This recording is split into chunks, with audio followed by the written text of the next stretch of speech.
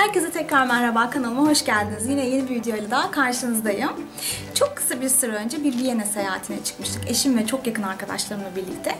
Ki bunu yanılmıyorsam birkaç gün önce yüklemiş olmalıyım. Eğer izlemediyseniz ona da bir göz gezdirebilirsiniz. Aşağıya linkini mutlaka koyacağım. Bugünkü videonun konusu ise e, Viyana'dan aldıklarım yani alışverişlerim olacak. E, isterseniz hiç vakit kaybetmeden neler almışım bir bakalım. Viyana çok güzel bir şehir. E, tarih kokan böyle masal e, şehirlerinden biri. Evet gelir düzeyleri çok yüksek. Bunun için alışveriş e, olarak düşündüğümüzde kesinlikle uygun bir şehir değil.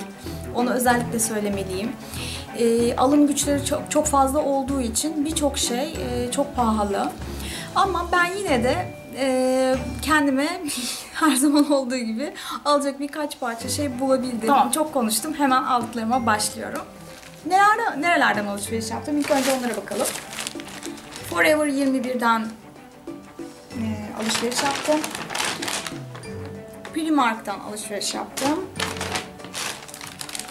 Kiko'dan alışveriş yaptım. Clarence'den yaptım. Ee, Bipa'dan alışveriş yaptım ki Bipa e, bizim e, Gratis ve Watsons gibi e, drugstore bir e, mağazalar zinciri. Oradan alışveriş yaptım. Ve bir de e, Marionaut diye bir mağazadan tek bir parça ürün aldım. Açıkçası gözlerim hep e, Sephora'yı aradı. E, yani her yere baktım. E, böyle hep e, algıda seçicilik vardır ya hep böyle gözüm e, onu aradı ama maalesef ki Viyana'da Sephora yokmuş. E, bu arada şey e, hava havalimanından hiçbir ürün almadım. Kendimi bunun için tebrik ediyorum. High-end hiçbir ürün almadım. E, daha çok uygun fiyatlı ürünleri almayı tercih ettim. Çünkü giyim alışverişlerini bu alışveriş videomda göremeyeceksiniz. Çünkü hani siz de çok sıkılırsınız diye düşündüm. Zaten de çok fazla bir şey almadım ama sizi çok fazla da sıkmak istemiyorum açıkçası.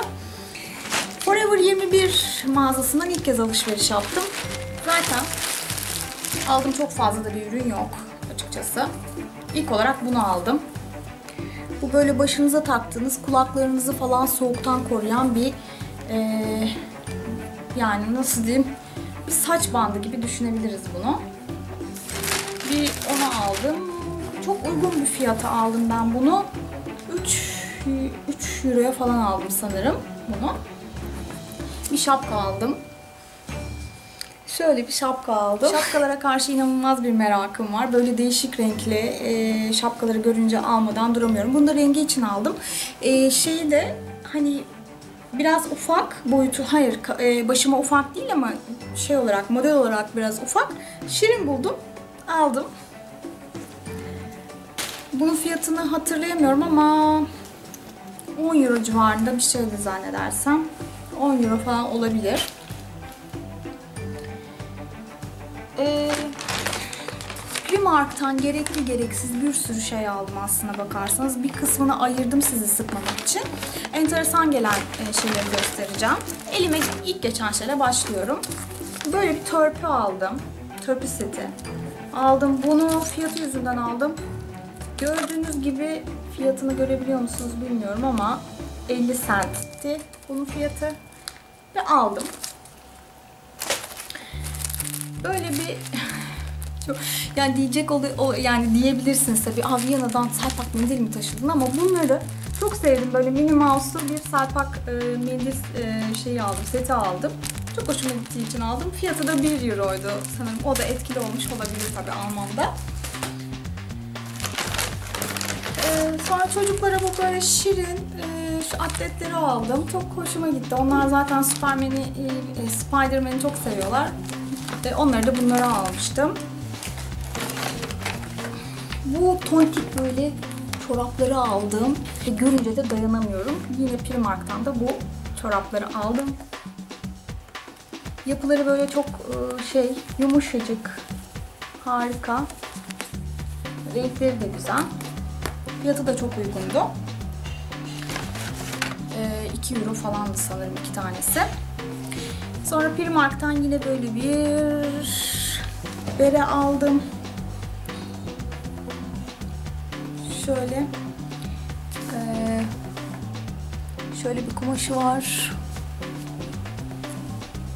Bunu aldım.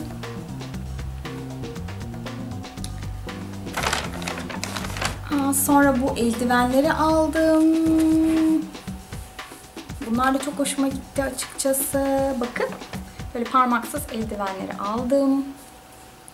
Bunlar da çok güzeldi bence. Üstelik de bunlar da gerçekten bayağı uygun fiyatlıydı. 2 euro, 2,5 euro falandı. Sonra bu çorabı aldım. Şöyle değişik pandalı bir e, şey kilotlu çorap bu. Bunu da görünce dayanamadım. Aldım. Bu kulaklıkları aldım. Böyle yani pek bir özelliği yok da beğendim. Rengini beğendiğim için aldım bunu. Fiyatı da burada yazıyor. 3 euroymuş.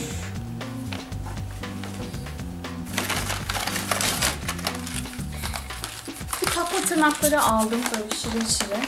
Ee, bu takma tırnaklar. Çok sevdim aldım hemen.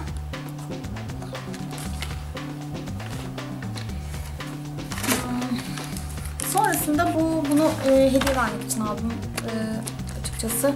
Mavi ve yeşil kalem e, kullanmaktan hoşlanan e, bir yakınım var. Ona hediye etmek için aldım. Bunları gayet güzel renk veriyor. Hatta fazlasıyla iyi bir performansı var bu kalemlerin. Sonra bu e, şey paleti aldım. Çok güzel renkleri var. Şöyle içini göstereyim ben size. Şöyle renkleri var. Pigmentasyonları da gayet güzel. Ama bunları da hediye aldığım için açmıyorum.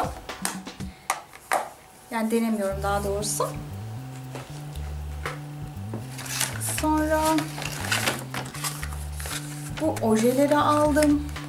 Bir tanesi böyle daha pastel e, tonları içeriyor. Bir tanesi de böyle tamamen e, neon ojelerden oluşuyor. Clarins alışverişime gelelim. Clarins'ten aslında e, diğer çok fazla girdiğim bir mağaza değil. Türkiye'de de pek tercih ettiğim bir mağaza değil. Hiç alacak bir şey bulamam ben burada ama oradaki ojeleri beğendim ve e, bu üç tane ojeyi aldım.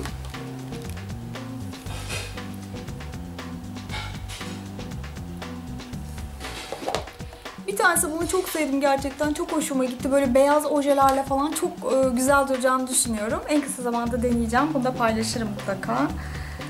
Şöyle bir neon e, şeylerden oluşan, böyle içinde pütürcüklerden oluşan bir oje. Çok sevdim bunu da.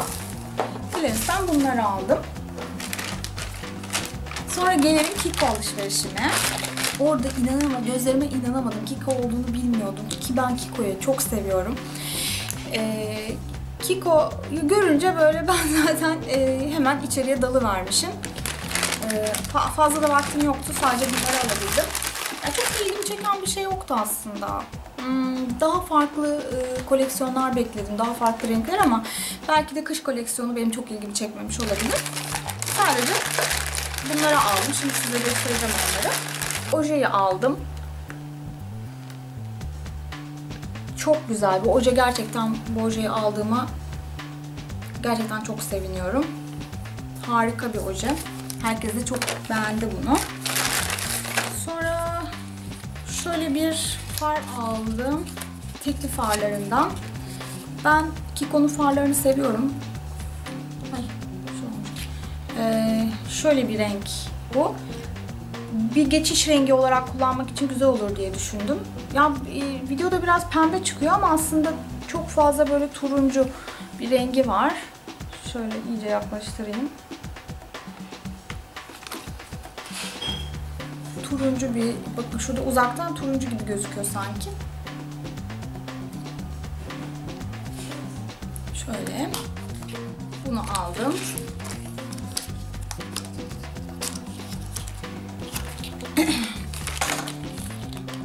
Sonra ne almışım? Ben de unuttum ne aldığımı da.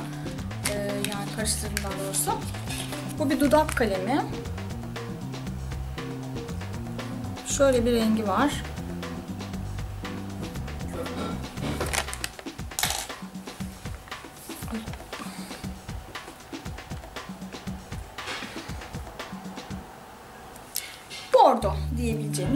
Çok fazla bir özelliği yok aslında. Türkiye'den de bulunabilir bir kalemdi. Ama yapısını falan sevdim. Böyle yumuşacık bir yapısı var. O yüzden aldım. Böyle bir e, mavi bir göz kalemi aldım. Bunun gerçekten rengini çok sevdim. Şimdi göstereceğim size de. Ya böyle yağ gibi kayıyor. Ee, çok hoşuma gitti. Şöyle göstereyim.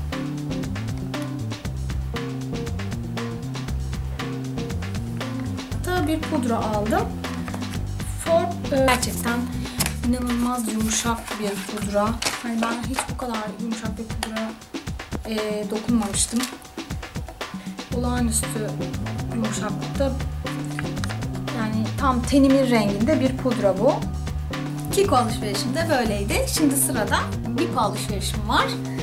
E, Bipo'da daha önce de dediğim gibi böyle bizim e, Watsons, Gratis gibi bir mağaza. Yani Viyana'nın Watsons'ı gibi düşünebiliriz. Şimdi hemen isterseniz oradan ne almışım bir bakalım. Ben sıra sıra bunlara bakacağım. Göstereceğim size. Ne markaları almışım. İlk olarak bu Maybelline'in yeni çıkan bir e, fondöteni var. Superstay Better Skin diye. Bunu bir kez kullandım. Yüzümde çok iyi bir performansı var. Ee, hani e, çok hoşuma gitti bu ama ilerleyen zamanlarda netleşince düşüncelerimi size söyleyeceğim. Ama şimdilik gerçekten çok sevdim bu fondöteni. Ee, 12 euro gibi bir fiyata aldım sanırım. Yine Maybelline'den bu Fit Me kapatıcıyı aldım. Yapısı falan da çok hoşuma gitti. Zaten birçok blogda falan da e, övüldüğünü biliyorum bu e, kapatıcının. Ben de bunu aldım. Yine Maybelline'den gidelim. Bu şey Color Tatto'nun Tattoo'nun hangi rengini? Move Crush rengini almışım. Gerçekten bu renge bayıldım. Ee, yani tam bir mavi değil, mavi ile böyle mor karışımı bir şey, yanar dönerli gibi bir renk. Umarım videodan anlaşılıyordur. Harika, çok sevdim. Bu tersinden daha iyi anlaşılıyor rengin nasıl bir şey olduğu aslına bakarsanız. Çok güzel bir renk. Keşke yani Türkiye'de var mı bilmiyorum. Yok galiba. Hiç rastlamadım ben. Ama çok ben çok beğendim bu rengi. Umarım yok e, yani bir an önce Türkiye'ye gelir. Sonra orada ben e, Manhattan diye bir e, marka keşfettim. Yani daha doğrusu ben tabii ilk kez gördüm. Hiç bir ürününü kullanmamıştım daha önce de duymamıştım da. Onun Manhattan'ın 3 tane böyle şeylerinden aldım. Color Splash diye geçiyor bunlar. Liquid tint aslında lip tint diyebiliriz. Böyle dudağa çok hoş bir şey bir renk veriyor. Böyle müthiş kalıcı, müthiş kalıcı. Yani sabah sürün akşama kadar kalıyor. Test ettim, onayladım. Bu üç rengini aldım. Bunlar böyle. Daha sonra e, Catrice markasını hiç duydunuz mu bilmiyorum. Ben daha önce duymuş ama hiçbir ürününü kullanmamıştım e, standtan yani çok fazla hani pudra ya da işte allık falan ilgimi çekmedi ama bu ojeler çok ilgimi çekti. Çok e, beğendim. Bu ojeleri aldım. Bir tanesi böyle bir renk. Bir diğeri de böyle.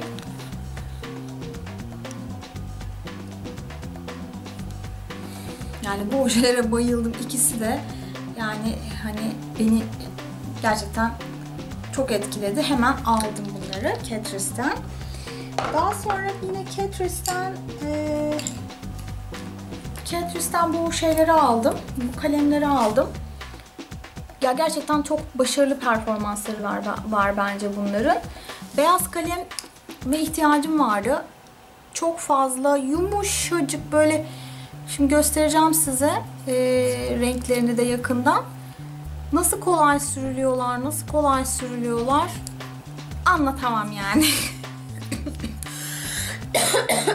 Ay çok özür dilerim. Yani renkler böyle. Şöyle göstermem gerekirse. Çok kolay sürülen ve yumuşacık kalemler bunlar.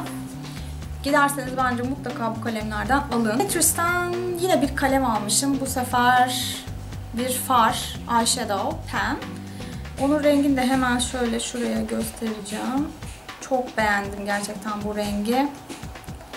Muazzam bir renk. Yine.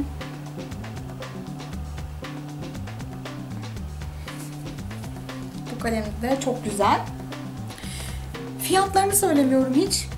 Ya Çünkü e, aklımda değildi ama şöyle bir kısaca şey yapayım söyleyeyim. Bu Clarice'den aldığım ojelerin fiyatları 2'şer euroydu. E, bunlar da sanırım 4'er euroydu. Evet Manhattan e, rujlar 4'er euroydu. Bu kalemler 1.99 yani 2'şer euroydu. Kiko'nun fiyatlarını ama gerçekten hiç hatırlayamıyorum. Ama çok e, ucuz değillerdi. E, yani Kiko biraz e, fiyatlarını yükseltmişti bence. Daha önce gittiklerim gittiğim zamanlarda daha uygun fiyatlı gibi hatırlıyorum. Şimdi birazcık şey geldi. Bana pahalı geldi. Yani pahalı demeyeyim de yani fiyatları yüksek gibiydi. Sonra bu Goş'tan bu kalemi aldım. Türkiye'de var mı bilmiyorum. Ben görmemiştim. Ya olabilir hani ama ben görünce bunu aldım. Orada sürdüm çünkü bunu. Şöyle göstereyim size rengini. Turuncu bir renk ton bu.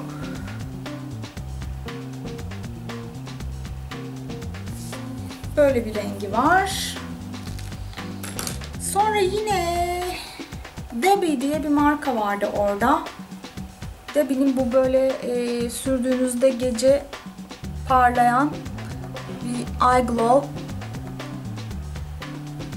lip gloss'unu aldım. Hiç kullanmadım daha. O yüzden açmadım. Belki bir süre açmam diye de hani size burada gösteremiyorum. Fiyatı da yine uygundu. 3 ya da 4 euro gibi bir şeydi. Sonra bu Maybelline'in e, yine drama e, şey color drama iki tane ruj kaleminden aldım. Renkleri gerçekten güzel. Hemen göstermek istiyorum size renklerini.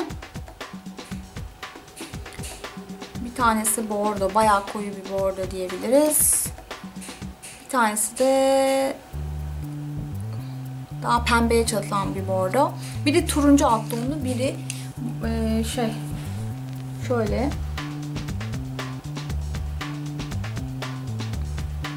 uzun süre kalıcı bunlar da gerçekten e, çok uzun süre dudağınızda kalıyor.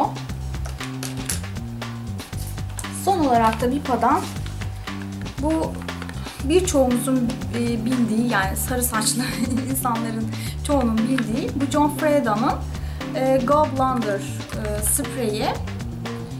Uzun süre kullandığınızda saçlarınızın rengini açtığı söylenen bir sprey. Bunu da merak ettiğim için aldım. Birçok yerde övgü dolu sözler duyuyorum bununla ilgili. Ben de bir denemek istedim ve aldım. Son olarak Bipa'dan aldığım ürün buydu.